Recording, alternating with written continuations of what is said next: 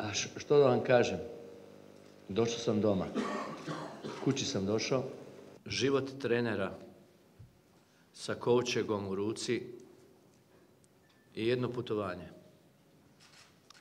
Za nekoga je to dugo putovanje, za nekog trenera je to nažalost kratko putovanje.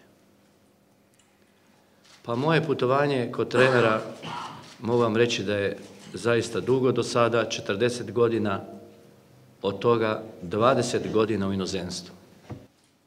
Ja i sa ovog mjesta želim da se zahvalim Rukovodnoj federaciji Makedonije i rukovodnoj samoj reprezentaciji, jer ja sam bio tamo sedam godina, a dočekali su me raširenih ruku i poštivali su me. Drago mi je jednako tako da mi je dao, da je želio Rukometni savez Hrvatske da se vratim, da je to bila jedna obostrana želja na kraju, jer ipak e, Hrvatska rukometna reprezentacija je jedna rukometna velesila.